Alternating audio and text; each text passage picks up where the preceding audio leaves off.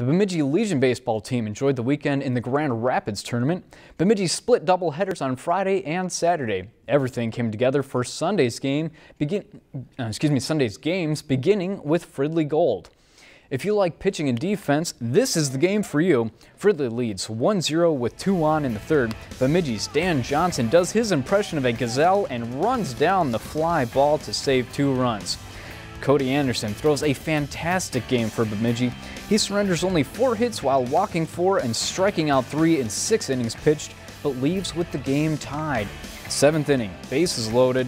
Otto Grimm plays the hero for Bemidji. He goes three for three with both of Bemidji's RBIs, including the walk-off single. Bemidji wins it two to one, and they go four and two in the tournament.